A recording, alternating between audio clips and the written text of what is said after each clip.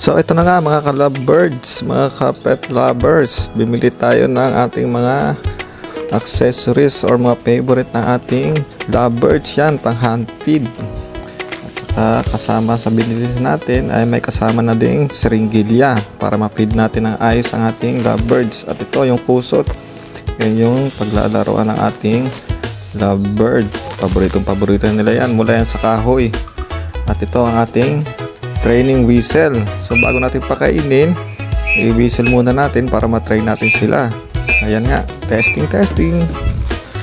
Ayan, nilagay na natin ang kusot. Diyan natin ilalagay ang ating baby lovebird. At ngayon, mailagay natin yung mga kusot, ayan, kita natin ang ating baby lovebird. Tuwang-tuwa, naglalaro na siya sa kusot. Inunguya-nguya niya paunti-unti ito. Ayan, uh, titimplahin na natin ang ating nabiling pang hand para lang siyang gatas. Ayan, gagawin natin dyan. Ay dadagdagan lang ng konting tubig. Halu-haluin natin. Ayusin lang natin ang pagka-mixture niya. Huwag yung masyadong malabnaw. Ayan, ilagay na natin sa siringdilya para matesting.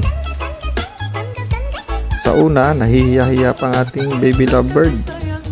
Yan oh, pero titikman-tikman niya pa konti-konti ito nga pala ating lovebird ay galing sa dalawang albino so yan ang result niya ang medyo may blue siya sa, ano, sa buntot ayan ang ganda ang pagkakulay niya. Yan, mukhang na-enjoy naman niya. Masarap yung nabili nating hand feed mula sa online. Yan. Mm, sarap-sarap. Nakakatuwa.